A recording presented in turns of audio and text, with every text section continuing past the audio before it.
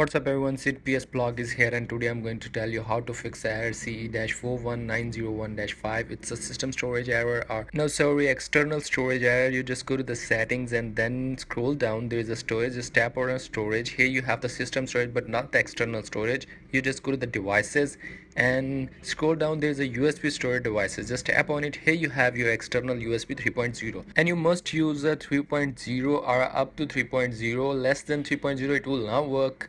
So here you have the format as an extended storage. You just format and install your applications uh, ps4 application in your device. Then after that will work and here you have you can install application and extended storage. However save data screenshots and video clips will save only in the system storage. And the games are in your external storage you can save it. So that's how you can link your storage device. If not appearing in the storage you just go to the devices and format as an extended storage install the application then it will work. So that's how you can fix this error. And if you want to ask me a question then write in the comment